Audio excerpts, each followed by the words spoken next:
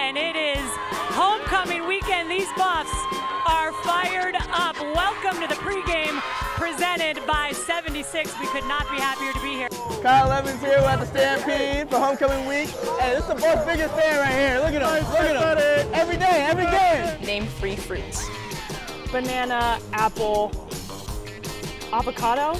Is that a fruit? Oh my god! Avocado's a fruit.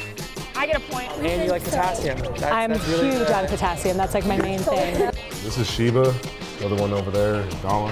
Sheba's really active. She loves to like play with stuff and like jump around. Nala's a little bit more chill. She likes to just relax and lay around. So, Katie, I had so many questions ready for you, and then all of a sudden you bring these two puppies to the park, and that's all I want to talk about. He's currently making a Colorado apple peach kale smoothie. Now, This is all just funny keep until I biking, pass out on this set.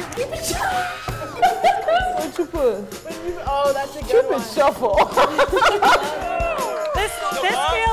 This, this feels as weird as I thought it was going to in my brain. It Feels as weird as it looks. Yeah, it feels as weird as it looks. And you get your shoulders into it a little bit. Now, don't get too cool. Don't get too cool. Question number one.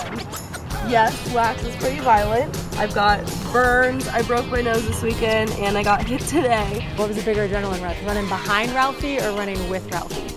Uh, ooh, very different. All right, if you've ever wanted to learn how to turn one of these into one of these, you have come to the right place. She is the wind beneath all wings. Period. Time for you to peel out of here. Don't slip on your way out. Thank you. And uh, I'll see you at tryouts.